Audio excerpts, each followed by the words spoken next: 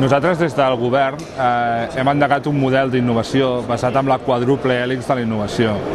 La quadruple hèlix de la innovació és, un, és, un, és una gestió de la innovació on involucra govern, coneixement, empreses i, molt important, ciutadans. És un, és un model que és innovador eh, en, tot, en tot el món, especialment a Europa, i que ens permet generar innovació des de les necessitats de l'usuari o de les necessitats del ciutadà. O sigui, és el ciutadà el que demanda què és allò que necessita i a partir d'aquí es comença a desenvolupar solucions i serveis dirigides en el ciutadà.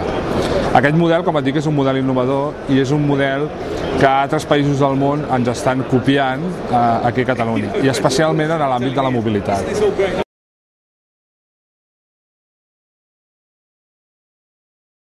Per poder desenvolupar-lo, una de les coses que hem creat ha estat la Mobile World Capital, que és l'evolució de la Mobile World Congress, en el qual tenim diferents pilars que tenen la Mobile World Capital. Un d'ells és el Mobile World Hub, que és l'espai on agafem empreses tecnològiques i empreses no tecnològiques i les posem a treballar conjuntament per desenvolupar aquestes solucions.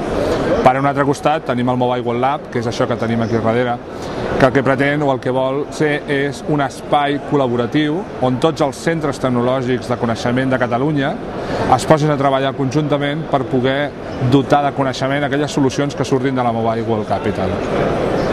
Tanmateix, tenim la xarxa de telecentres i la xarxa de Living Labs, que són les que doten també d'aquesta necessitat a les solucions que es creen des de la Mobile World Capital i que acaben desenvolupant-se en el Mobile World Lab amb tot el teixit de coneixement de Catalunya. I per últim tenim l'impuls del Govern de la Generalitat de Catalunya i de l'Ajuntament de Barcelona i altres ajuntaments del país que fan que tot això passi. Com et dic, és un model molt innovador que eh, permet que la recerca vagi dirigida a la innovació. O sigui, canviem el paradigma de, des de recerca a innovació a innovació anant cap a recerca.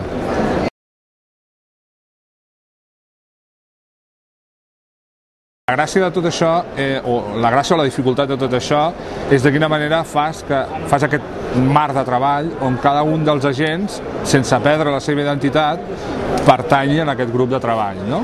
Aleshores, els agents que tenim, per exemple, dintre de la Mobile World Capital, que és l'eina industrial de tot aquest quadruple hèlix, tenim a la Generalitat de Catalunya, tenim a l'Estat espanyol, tenim a l'Ajuntament de Barcelona, Fira de Barcelona i la GSMA, que és l'Associació Mundial d'Operadores i Empreses Tecnològiques de primer nivell.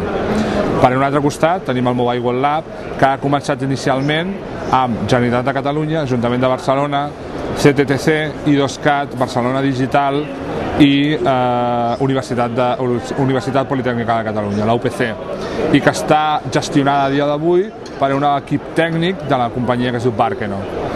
Després tenim la part més ciutadana, o com et dic, tenim la xarxa de telecentres punts TIC de Catalunya i la xarxa Living Labs, on aquí podem trobar, per exemple, dos referents com són Neàpolis o uh, City Lab. I per últim, des del Govern de la Generalitat de Catalunya doncs estem des del Departament d'Empresa i Ocupació, especialment des de la Direcció General de Telecomunicacions, apretant perquè tot això passi i, i, i acabi sent un cas d'èxit a nivell mundial.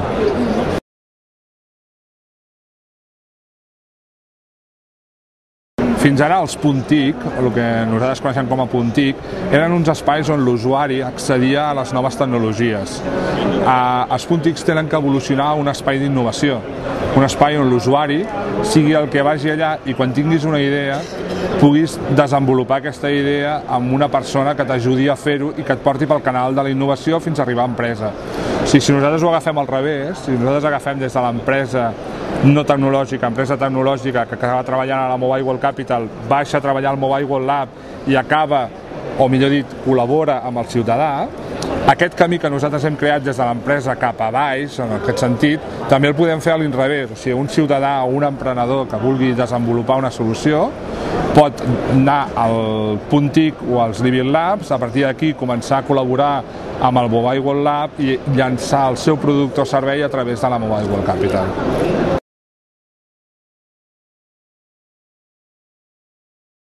Primer de tot, eh, seran els serveis que realment utilitzaran els ciutadans. No?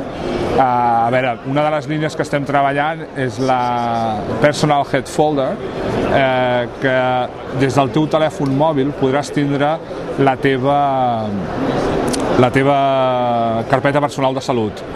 Aleshores, amb això podràs anar a qualsevol metge eh? i amb ensenyar-li al teu metge a aquest mòbil, a, a la informació que et dona el teu mòbil, doncs ja tens un accés a un servei que fins ara no es té. No? Però ja no només aquí a Catalunya, sinó que es podrà fer a nivell mundial. Els projectes que fem des de la Mobile World Capital, Mobile World Lab, són projectes amb una visió clarament internacional. No ens volem focalitzar només a Catalunya. El que sí que tenim clar és que qualsevol projecte que surti de Mobile World Capital o Mobile World Lab té que estar a Catalunya, a part de que estigui en altres països.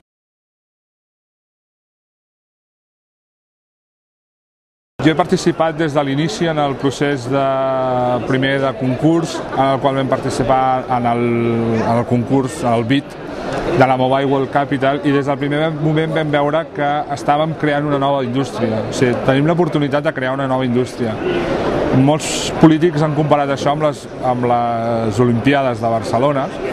Jo crec que anem molt més. No? Les Olimpiades de Barcelona són 15 dies, tot i que hi ha una gran transformació de la ciutat. Això tenim 6 anys, perquè va des del 2012 fins al 2018, per crear un canvi d'indústria i oferir uns serveis diferenciadors als, als nostres ciutadans.